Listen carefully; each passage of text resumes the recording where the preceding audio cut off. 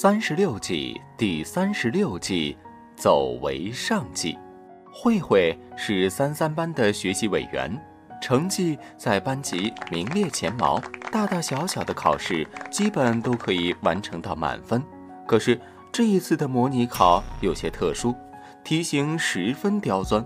第一门科目考完后，大家都表示答题不顺畅，以至于没有答完卷子。慧慧也有部分题目没来得及做，季季、萌萌看出了她的沮丧。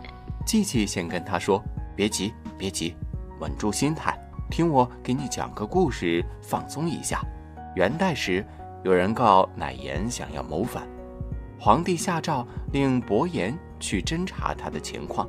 伯颜知道自己此去凶多吉少，就做了精心的准备。伯颜发现，如果要平安回来，交通是一个关键，于是伯颜就带上许多皮袍进入乃颜管辖的地区。到了乃颜控制的地区以后，每到一个驿站，伯颜就把这些皮袍送给管驿站的官员，一路上交了不少朋友。但是乃颜反心已决，对伯颜的来意也有所了解，他设下一个计谋，准备除掉伯颜。伯颜到了乃颜处，乃颜为他设宴。打算在宴会中把他抓起来。伯颜发现事态不妙，同他的随从快步逃了出来，分三条道逃走。管理驿站的官员因为得了他的皮袍，便争着把健壮的快马献给他，于是他便成功逃脱。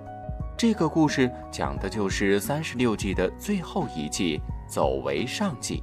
原文中说：“全师必敌，左次无救，未失常也。”意思就是全军退却，避开强敌，以退为进，寻找战机，伺机破敌。这并没有违背正常的用兵原则。古今中外走的办法可以说是千奇百怪，目的只有一个，那就是保全自己，为遇到强敌或陷入困境时，以离开回避为最好的策略。三十六计，走为上计。这个智谋故事的核心在于一个“必”字。好汉不吃眼前亏，识时务者乃俊杰。所以，走也是一门艺术，既要掌握时机，也要靠点运气，才能走得正是时候，走得理直气壮。同时，也是成本思维、止损思维的体现。亏损达到预定数额时，勇于离场，以便造成更大的亏损。毛毛解道：是的，无论再难再险，事情终归会有解决的办法。来看看三国时期的姜维是如何化解的吧。当姜维在前线作战时，后主刘禅听信宦官黄皓的话，贪恋酒色，不理朝政，还一连发出多次命令班师回朝。姜维回来后，向面圣一问究竟。可一连十天，刘禅都没有上朝，姜维十分疑惑。后来在东华门遇到秘书细正，得知原来是宦官黄皓从中作梗。第二天，姜维直接带人到后花园面圣，黄皓苦肉计，巧言令色，哄骗后主。姜维愤愤而出，遇到细正，细细说了前因后果，请教细正报国安身的办法。细正说。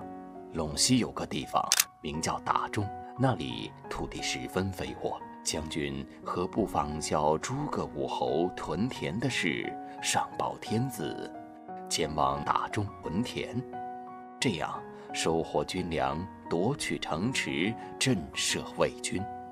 最后，将军在外，我有兵权，谁也不敢算计你。姜维大喜，道谢道：“先生的话真是金玉良言。”第二天，姜维上表后主，要求去达中屯田，仿效诸葛亮。后主答应了，他便回到汉中。慧慧听了故事之后，豁然开朗，懂得了舍也是一种得。接下来的科目，他不再紧紧抓住一道题不放，贪心不足蛇吞象，改为浏览大致题目，先捡有把握的来做。余下时间再回过头来思考那些有技巧性的。成绩出来后，虽然整体成绩不高，但慧慧依旧稳居班级前列，在有限时间发挥了最好水平。这走为上计还真的十分实用呢。